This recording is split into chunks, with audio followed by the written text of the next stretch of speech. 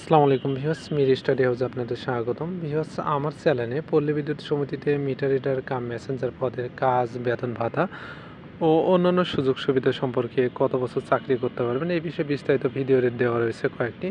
আপনারা অনেকে সেখানে কোশ্চেন করেছেন যে আসলে মিটার রিডার কাম মেসেঞ্জার পদে যোগদান করতে গেলে পুলিশ ভেরিফিকেশন হয় কিনা ভিউয়ার্স আজকে আপনারা জানতে পারবেন যে মিটার রিডার কাম মেসেঞ্জার পদে যদি আপনি যোগদান করেন, সেক্ষেত্রে অন্য অন্য অধিদপ্তর মন্ত্রণালয়ের মতো আপনারও পুলিশ ভেরিফিকেশন হবে কি না?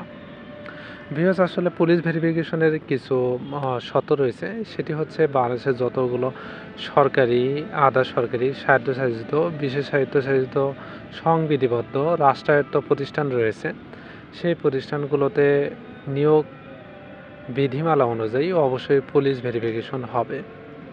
এখন এছাড়াও এই কিছু সেক্টর ছাড়াও অন্যান্য কিছু বেসরকারি ব্যাংক রয়েছে, আরও কিছু সেক্টরগুলোতে পুলিশ ভেরিফিকেশন হয়ে থাকে।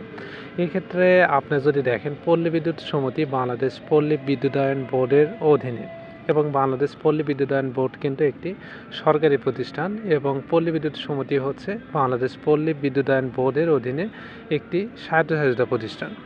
তো এই ক্ষেত্রে মিটার রিডার কাম মেসেঞ্জার পদে যদি আপনি যোগদান করেন, তাহলে অবশ্যই পুলিশ ভেরিফিকেশন হবে।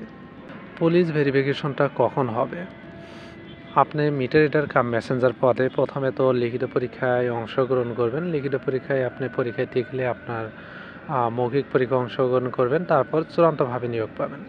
চূড়ান্তভাবে নিয়োগ পাওয়ার পর আপনি যখন যোগদান করবেন, তারপরে আপনার পুলিশ ভেরিফিকেশন হবে। অনেক ক্ষেত্রে পুলিশ ভেরিফিকেশন যোগদান করার আগেও হতে পারে, কিন্তু ম্যাক্সিমাম ক্ষেত্রে পুলিশ ভেরিফিকেশন চাকরিতে যোগদান করার পরে হয়ে থাকে। তো ভিউস এইটা কনফার্ম যে আপনি যদি মিটার রিডার কাম মেসেঞ্জার পদে যোগদান করেন, তাহলে আপনার অবশ্যই পুলিশ ভেরিফিকেশন হবে। আর পুলিশ ভেরিফিকেশনে কী কী তথ্য দেখা হয় বা কি কি কাগজপত্র লাগে, এই বিষয়ে আমার চ্যানেলে অলরেডি ভিডিও দেওয়া রয়েছে, আপনারা দেখে নিতে পারেন। ভিউস আপনাদের আরও কোনো কোশ্চেন থাকলে কমেন্ট করতে পারেন। ফার্স্ট টাইম আমার চ্যানেলে হয়ে থাকলে চ্যানেলটি সাবস্ক্রাইব করে পাশে থাকবেন। ধন্যবাদ।